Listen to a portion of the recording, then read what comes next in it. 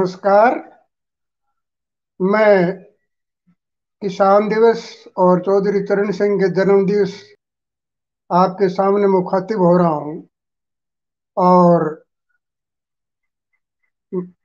चौधरी चरण सिंह के जीवन के कुछ प्रसंग आपके सामने प्रस्तुत करूँगा और जो आज के राजनीतिक माहौल में उनकी प्रासंगिकता का पता लगता है और एक राजनीति का वो दौर था जिसमें चौधरी चरण सिंह जैसे राजनेता हुए और उनसे हमें प्रेरणा मिलती है। आज की राजनीति लोगों के सामने भी वो एक चुनौती के रूप में नज़र आते हैं। तो उनके कुछ प्रमुख जीवन प्रसंग और के बारे में बताऊँगा, जिनसे उनके व्यक्तित्व सोच के बारे में पता लगता है।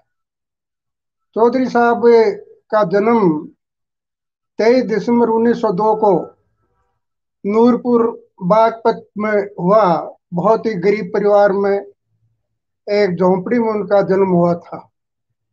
और इस अपनी गरीबी को वो आजन्म भूले नहीं। उन्होंने खुद ने कहा था कि मैं खेत खलियानों में मैंने काम किया है, किचन में मैं पैदल चला हूँ। तो उस जो सोच था उसका, उनका, वो आजन्म उन, उसे भूले नहीं और अपनी सादगी, ईमानदारी और कर्मठता को उन्होंने हमेशा अपनाया। यूँ तो चौधरी साहब के बारे में अनेक बातें हैं, लेकिन आज का जो राजनीतिक माहौल है, एक बड़ा शोर मच जाति, धर्म का, इस तरह का तो इस संबंध में कुछ बातें मैं उनके जीवन के बताना चाहता हूँ। चौधरी साहब कॉलेज में पढ़ने के लिए आगरा गए और वहाँ हॉस्टल में रहने लगे।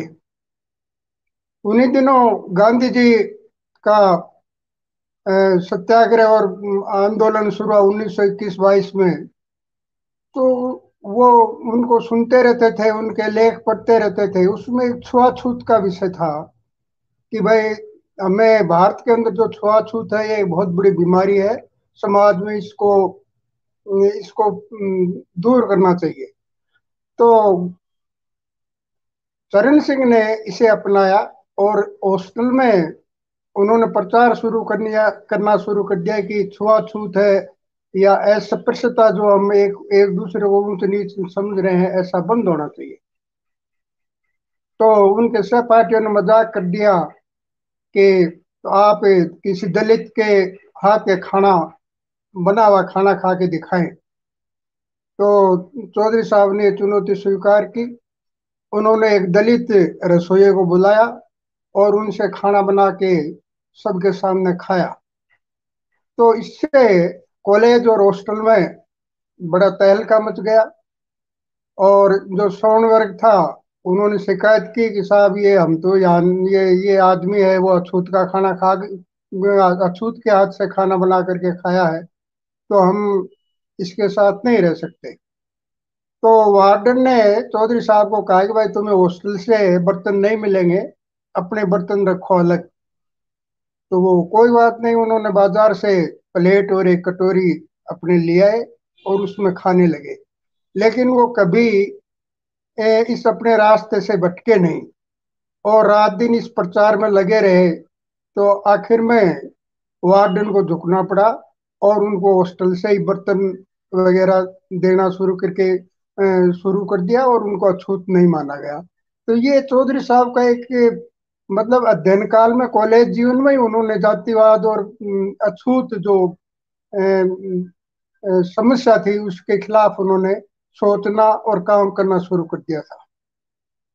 इसके बाद में वो गाजियाबाद में वकालत करने लगे तो वहाँ भी उन्होंने अपना जो रसोईया रखा, वो एक दलित समाज का रसोईया रखा और ये आजीवन उनके साथ रहा।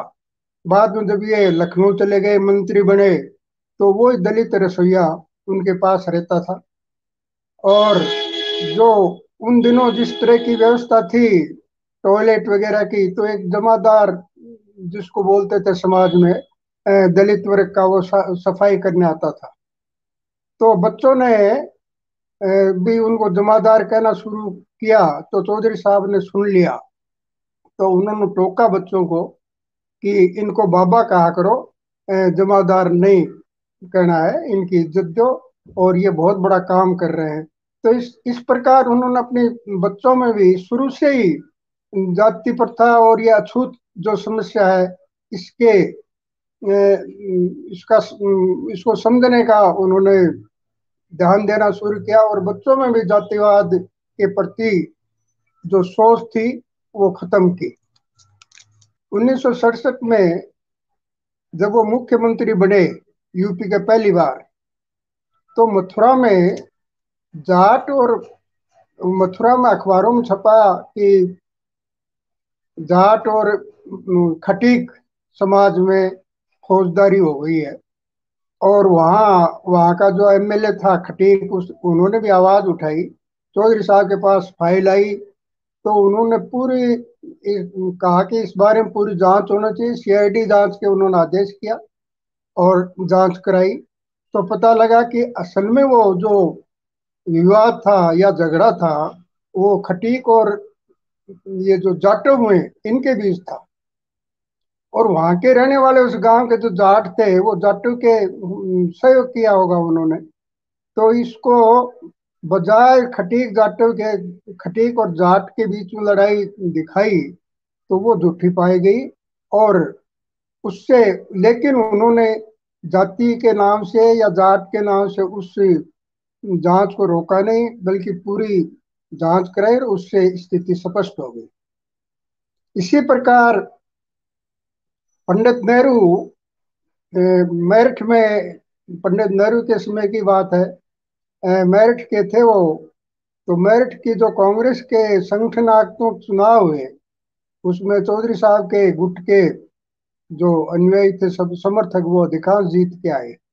हालाँकि वो सब अलग अलग जातियों के थे और जिला अध्यक्ष से पंडित थे, लेकिन लोगों ने पंडित नेहरू के कान भी भर दिए तो उन्होंने चौधरी साहब के लिए कमेंट कर दिया कि इन्होंने तो जाटपना दिखा दिया। तो ये जब चौधरी साहब को पता लगा तो उन्होंने, उन्हें बहुत बुरा लगा। और उन्होंने पंडित नेहरू को चिट्ठी लिखी कि आपसे उम्मीद नहीं थी कि इस तरह के आप प्रतिक्रिया देंगे। मुझे किस जाति में जन्म लेना था, ये मेरे बस की बात नहीं थी। और भारत का जो सामाजिक ढांचा है, उसमें जिस जाति में जन्म लोगे तो वो तो उसका चिपक जाएगा। लेकिन इस तरह से हमें जो देश की हम राजनीति कर रहे हैं, देश का निर्माण कर रहे हैं, उसमें किसी को जातीय नाम पर संबोधित करना अच्छा नहीं है। तो पंडित नेहरू ने फिर मज़ाक के रूप में इसको बताया कि भाई मन तो मज़ाक किया है और ऐसी कोई बात नहीं है। दूसरी उन्होंने यूपी में रहते हुए प्रस्ताव, मंत्रिमंडल में प्रस्ताव दिया था। कि कोई भी मंत्री अपने जातीय सम्मेलन में नहीं जाएगा। और पंडित पंत थे उस टाइम मुख्यमंत्री ने उन्होंने माना भी कि ठीक है, कोई नहीं जाएगा। लेकिन चौधरी चरण सिंह ने आजीवन इसको निभाया। वो किसी जातिवादी अपनी जाति में या किसी भी जाति गत सम्मेलन में नहीं गए, जबकि कुछ मंत्री आते जाते रहे। तो इस तरह उन्होंने कभी भी इस जाति प्रथा को या जाति और धर्म के नाम पर उन्होंने भेदभाव करना कभी भी राजनेताओं के लिए कभी उचित नहीं समझा। इसी प्रकार एक बार पंडित नेहरू को उन्होंने ये भी लिखा, चिट्ठी लिखी काफ़ी लंबी कि इस, ये जो देश हमारा 800-900 साल गुलाम रहा है, इसके पीछे जाति और धर्म का खास योगदान है, संकीर्णता, जो कट्टरता, जातीय कट्टरता है, धार्मिक कट्टरता है, उसकी वजह से हम गुलाम रहे। तो उन्होंने एक प्रस्ताव दिया कि हमें अंतर्जातीय विवाह को प्रोत्साहन देना चाहिए। और इसके लिए उन्होंने सुझाव रखा कि जो सिविल सर्विसेज़ हैं आई एस है, आई पी एस है, कम से कम वहाँ से शुरुआत होनी चाहिए कि आईएएस और आईपीएस के लिए ज़रूरी हो, हो, हो किया जाए कि वो अंतरजातीय व्याकरण ये अलग बात है कि पंडित जी ने उनके सुझाव को माना नहीं उन्होंने तो पंडित जी ने ये जवाब दिया कि भाई ये शादी करना है ये एक व्यक्तिगत आज़ादी का मामला है और इसमें हम किसी को बाध्य नहीं कर सकते। तो उनका ये प्रस्ताव माना नहीं गया।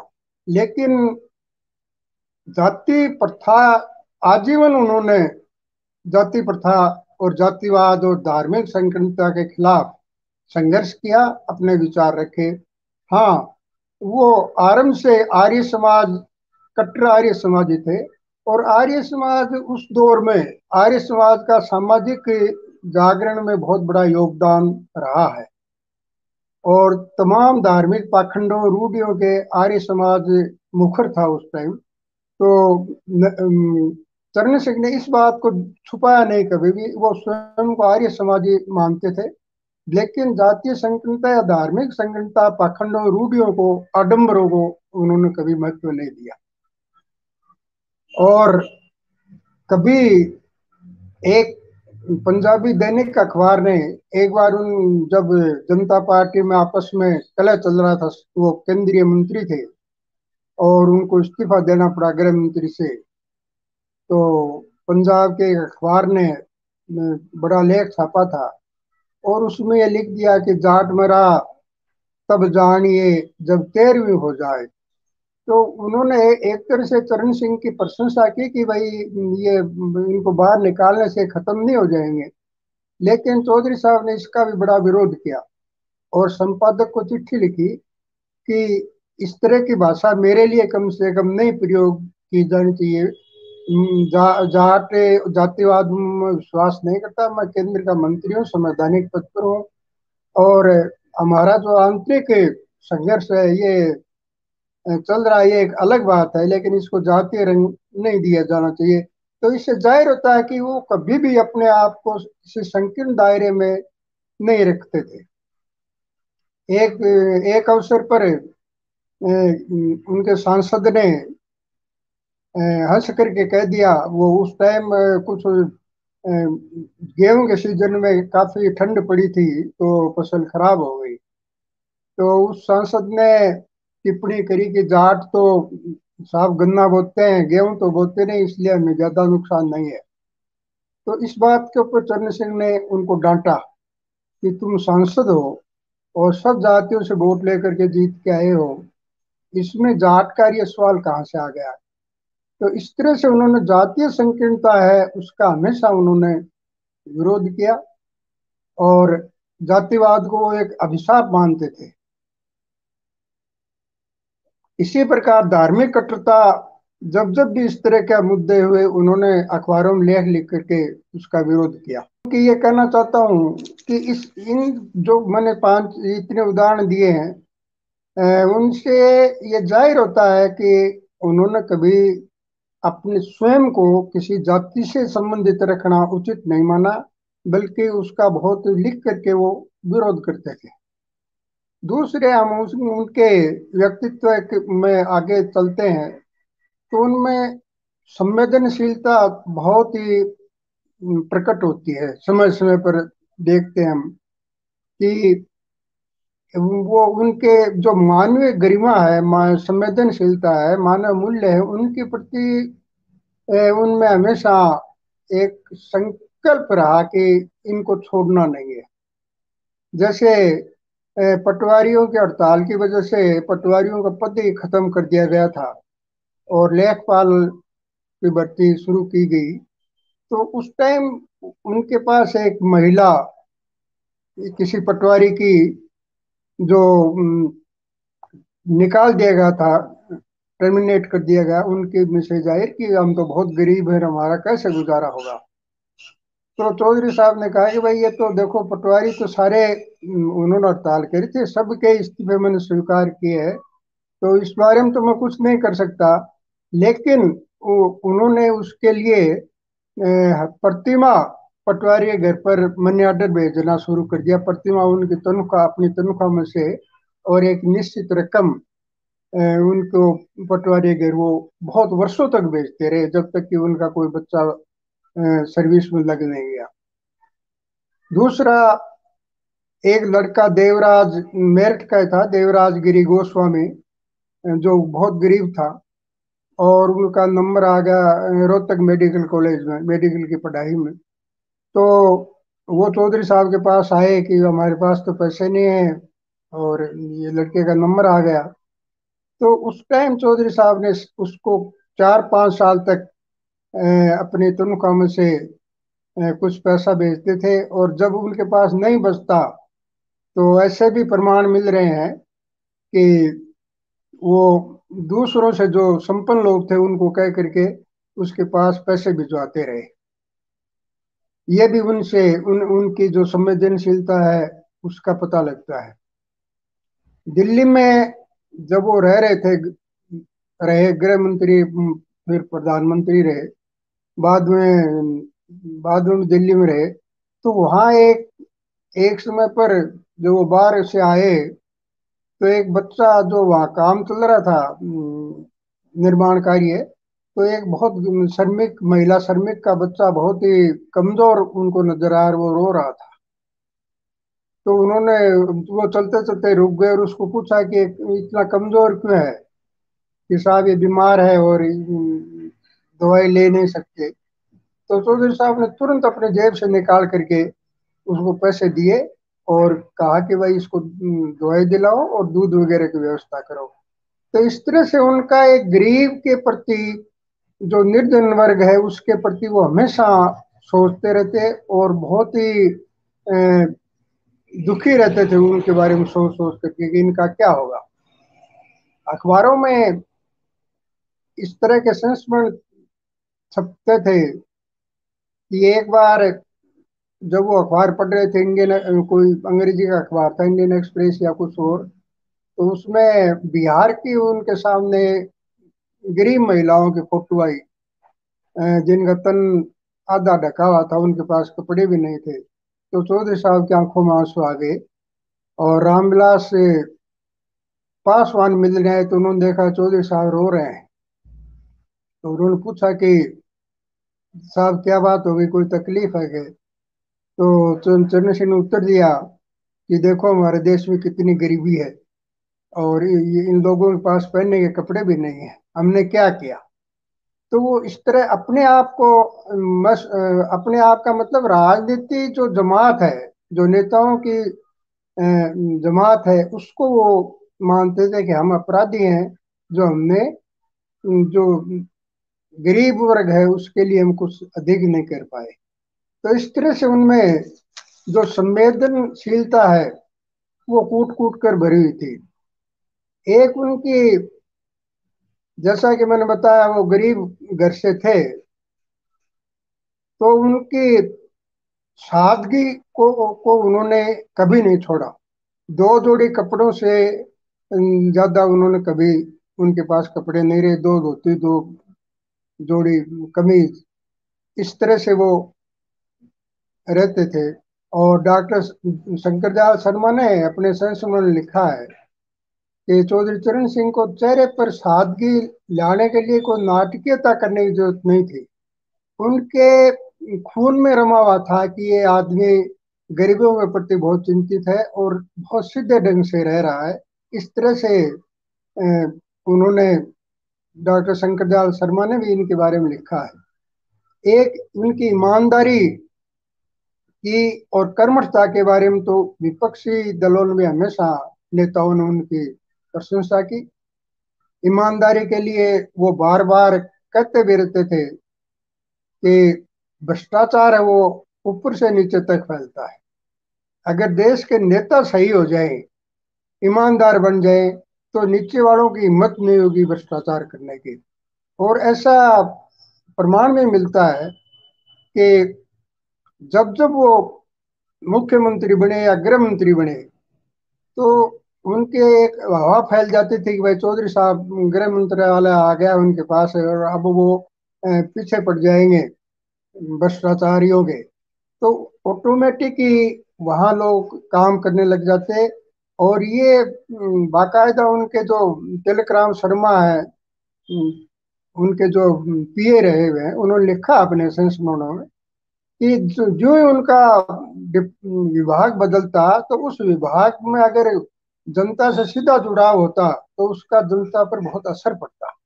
और ये एक, किवदंती समझिए, या कहानी फैल गई थी वहाँ यूपी में, कि चौधरी चरण सिंह वो भेष बदल करके और घूमते रहते हैं और ये देखते हैं कि कौन कहाँ बेईमानी करता है। इस तरह की एक कहानी फैल फैल गई थी यूपी के अंदर।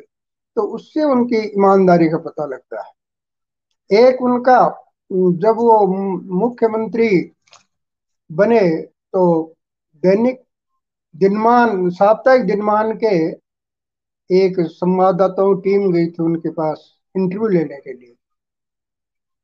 तो उनका उस टाइम उन्होंने इंटरव्यू देते हुए कहा था कि मेरा आग्रह तीन बातों पर है और वो है, जनता को पूरा पूरा इंसाफ मिले, भ्रष्टाचार बंद हो और सरकार पर जनता का पूरा भरोसा हो। इन तीन बातों को लेकर मुख्य बात उन्होंने बताई कि इन तीन बातों पर मेरा ज़ोर रहेगा। तो इस तरह से वो उन्होंने अपनी एक जवाबदेही जनता के प्रति हमेशा प्रकट की है कि हम जो ये डेमोक्रेटिक सिस्टम है और वेलफेयर स्टेट है तो राजनेता है या मंत्री है, उसकी बड़ी ज़िम्मेदारी होती है कि वो जनता के प्रति जवाबदेह बने। तो इस तरह के उनका सोच प्रकट होता है जो हम बार बार हम देखते रहते पढ़ते रहते हैं उनके बारे में। एक कर्मठता उनकी कर्मयोगी थे वो। इतनी मेहनत करते थे कि सुबह सचिवालय में जाते तो रात के नौ दस बजे ही वो घर पर आते। दोपहर को लंच लेने वो कभी नहीं आए। वहीं पर कोई नाश्ता कर लेते थे, लेकिन आते नहीं थे। और एक उन्होंने जनता का जो जो जनता की दिक्कतें थी, परेशानियाँ, कठिनाई थी तो उन्होंने एक दिन रखा हुआ था, हफ़्ता में एक दिन डार्क डे बोलते थे उनमें, कि जनता के उनके पास बहुत पत्र आते थे, लेटर वगैरह, समस्याएँ, अपनी समस्याओं के बारे में। तो उन्होंने एक दिन रखा हुआ था, उस दिन वो और कोई काम नहीं करते थे, पूरे स्टाफ को लेकर के और जो जनता के पत्र आए हुए थे, उन सब पर वो कार्रवाई करते। और ये पत्र ज़रूरी नहीं कि उनके डिपार्टमेंट से संबंधित होते थे। वो अन्य डिपार्टमेंट के बाबत भी होते थे। तो जो अन्य डिपार्टमेंट के लिए होते, वो उनको बुला करके, जो पीए है वहाँ का, सेक्रेटरी है, उसको बुला करके उनको सौंप देते। और हरेक उसके ऊपर निगरानी रखते थे। और पत्र में भी उनका मानना था कि पोस्ट कार्ड डालना कोई बुरी बात नहीं, पोस्ट कार्ड पर भी अपनी समस्या लिख सकता है, जनता लिख सकती है, लेकिन लिखाई और थोड़ी स्पष्ट होनी चाहिए। तो वो एक दिन उन लगा करके अपने ऑफ़िस में डाक डे के दिन पूरी जनता के जो शिकायतें आती, उनका वो निपटारा करते थे। ये उनके मतलब चौधरी चरण सिंह को ही इसका श्रेय है। दूसरा उनके जो संवैधानिक संस्थाएँ हैं या लोकतांत्रिक मूल्य हैं, उनके प्रति भी वो समर्पित थे। कभी भी विधानसभा में उन्होंने यूपी के रहने के दौरान कभी कोई विपक्ष में भी रहे, पक्ष में भी रहे, लेकिन कभी किसी पर बद्दी टिप्पणी नहीं की। शालीनता से जवाब देते और उनके बारे में कोई कुछ भी बोले लेकिन वो अपनी शालीनता से जवाब दिया करते थे। और जब वो विपक्ष में थे तो उनके बहुत नजदीकी एक विधायक ने जो सत्तापक से उसकी तरफ़ चप्पल फेंक दी थी। तो उस बाद में जब चौधरी चरण सिंह मुख्यमंत्री बने तो वो बहुत क्लोज में थे, चरण सिंह के, ये मान, माना जाता था कि ये मंत्री बनेंगे। लेकिन क्योंकि उनकी विधानसभा में जो गलत हरकत थी, उसको उन्होंने याद रखा और उसे मंत्रिमंडल में नहीं लिया। तो इस तरह से वो एक संवैधानिक संस्थाएँ हमारी जो है और लोकतांत्रिक जो तरीका है, उसके प्रति वो बहुत समर्पित थे और उसको कभी उसकी गरिमा के साथ खिलवाड़ नहीं किया, ये उनकी बहुत बड़ी देन थी। जब सेंटर में वो बहुत लेट आए और जब इससे पहले उन्होंने विपक्ष को एक करने का भी बहुत बड़ा काम किया था। जयप्रकाश नारायण से भी मिलते रहते थे और बार बार ये प्रयास क्या करते थे कि जब तक विपक्ष एक नहीं होगा तो ये जो एक ही पार्टी का शासन चलता रहेगा। लोकतंत्र में विपक्ष का मज़बूत होना बहुत ज़रूरी है, वो अक्सर ये कहते रहते थे। और इसके लिए विपक्षी एकता के लिए उन्होंने बहुत प्रयास किया। और काफ़ी पहले सफलता मिली उनको, चौहत्तर, पचहत्तर में उन्होंने कर लिया था। और बाद में जब इमरजेंसी लगी और उसका परिणाम यह हुआ कि 1977 में जयप्रकाश नारायण को ने उनको महत्व दिया और एक जनता पार्टी का निर्माण हुआ। जनता पार्टी के शासन में भी उन्होंने हमेशा एक आर्थिक नीति जब भी मंत्रिमंडल की बैठक होती, वो एक आर्थिक नीति पर हमेशा ज़ोर दिया करते थे। कुटीर उद्योगों पर और अपनी आर्थिक नीति पर कि गाँव और ये जो गरीब है, कुटीर उद्योग है, इनसे देश में बेरोजगारी कम हो गई। है बार बार इस बात पर बहुत ज़ोर दिया करते थे। और यूँ नहीं है कि वहाँ जाके मंत्रिमंडल में बैठ गए और चाय पानी पी के आ गए वापस, ऐसा उनका नहीं था। वो हमेशा एक पूरी तैयारी करके मंत्रिमंडल में आते और अपने विचार रखते थे। और जनता पार्टी शासन के दौरान जो बीस सूत्रीय कार्यक्रम रखा था सरकार ने वो भी उन्होंने प्रस्तुत किया था जिसे मंत्रिमंडल ने कमोवेश रूप में माना। ये अलग बात है कि जो वो चाहते थे जिस रफ्तार से वो काम नहीं हो, हो पाया लेकिन फिर भी उन्होंने ग्रामीण जो मंत्रालय के आज जो, आज आज के टाइम में जो सबसे बड़ा मंत्रालय है, ग्रामीण मंत्रालय उसकी देन चौधरी चरण सिंह की है। गाँव के लिए बजट बढ़ाया उन्होंने और ग्रामीण मंत्रालय की स्थापना की। ये उनकी बहुत बड़ी, बड़ा योगदान है। और वो हमेशा पार्लियामेंट में भी कहा है उन्होंने कि बेरोजगारी अगर दूर करनी है तो हमें कुटीर और लघु उद्योगों पर ज़ोर देना पड़ेगा। रख, भारी उद्योग भी रखो आप, बड़े उद्योग भी, लेकिन बड़े उद्योगों में बनने वाले माल को आप बाहर भेजो। और यहाँ जो देश की इतनी बेरोजगारी है, उसका निदान तभी होगा जब लघु और कुटीर उद्योग को प्रोत्साहन दिया जाएगा। ये उनका एक बहुत बड़ी सोच है, जिसको बाद के आज के नेता करते हैं या नहीं करते वो एक अलग बात है। लेकिन उनकी आर्थिक नीति को लोगों ने माना बाद में जाकर एक दौर तो ये ऐसा था कि तमाम जो पत्र पत्रिकाएँ हैं ये संचार माध्यम है वो उनके पीछे लगे रहते थे। लेकिन बाद में जब उनका जो विचार प्रकट हुए, उनसे सभी प्रभावित हुए और उन्होंने अनेक किताबें लिखी।